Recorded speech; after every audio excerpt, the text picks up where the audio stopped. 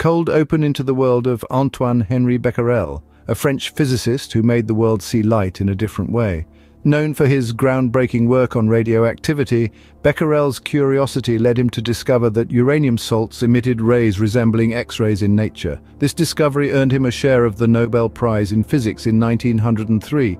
His work opened doors to understanding atomic structure, laying the foundation for modern nuclear science. Today, his legacy continues to impact medical imaging technologies, energy production, and even space exploration. Antoine-Henri Becquerel, an enduring luminary in the arena of science.